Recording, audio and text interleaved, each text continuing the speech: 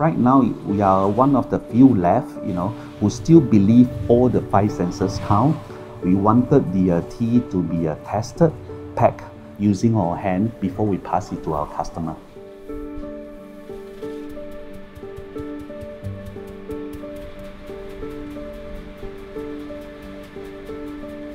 In the heart of Singapore's Chinatown district lies one of the country's oldest tea merchants, Sin Choon, run by fourth generation owner Ken Pek. The business started in 1925 and till today maintains the craft of traditional tea blending amid stiff competition by global industrial giants. Sin Choon, there are easily one, 200 different types of tea, but one of the main and uh, prominent one would be the Nanyang tea, which is the blending of the north and the south uh, teas from the Fujian. Because olden days, because of all the logistic issue, some of the uh, teas, you know, didn't manage to reach us.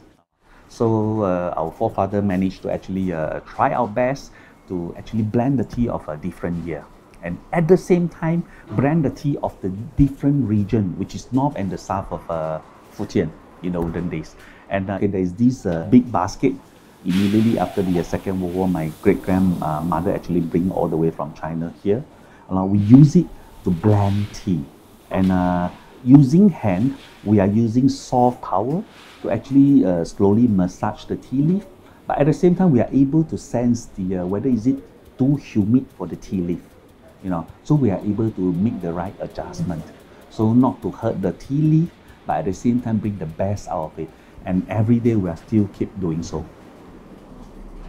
After the tea is blended by hand, they are carefully laid out onto trays to be roasted in-house using temperatures specific to each type of tea.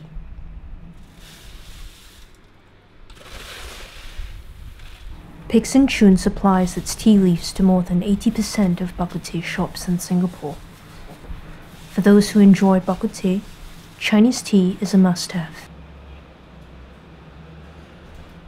Like in the past, their teas are still deftly hand-wrapped in pink paper used by Chinese medical halls.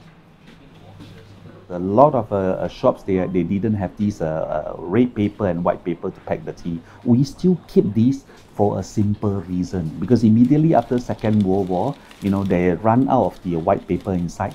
So out of no choice, we actually approached the medicine hall, and uh, eventually they say they only have the red paper. Are you interested? So we take it up, and uh, when the stock came back, you know, we we still wanted to keep the uh, the red paper or rather the red pink paper.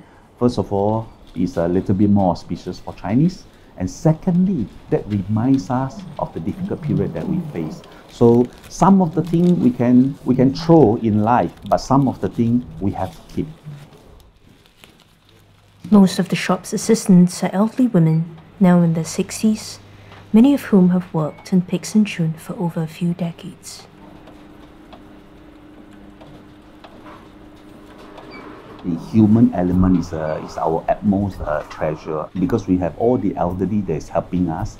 That is all the memories that they have, you know, in, in the old tea shop.